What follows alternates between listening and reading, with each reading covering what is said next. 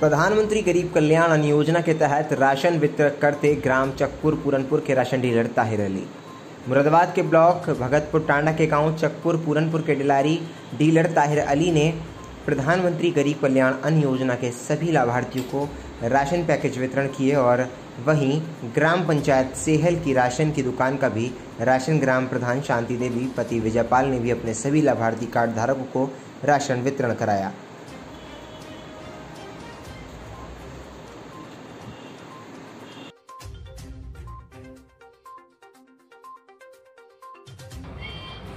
तो ये कितने लोगों को वितरित कराया आपने? ये जितने उन्होंने कार्ड लगे हुए थे गरीब वाले वो सबके कराया। ये सेहल वाले कैसे हैं यहाँ?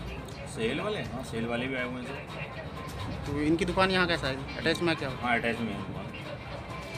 क्या नाम है आपका यहाँ ताहिर आज ये जो राशन वितरित कर रहे हैं किस योजना के तहत राशन वितरित कर रहे हैं? प्रधानमंत्री गरीब कल्याण अन्न योजना।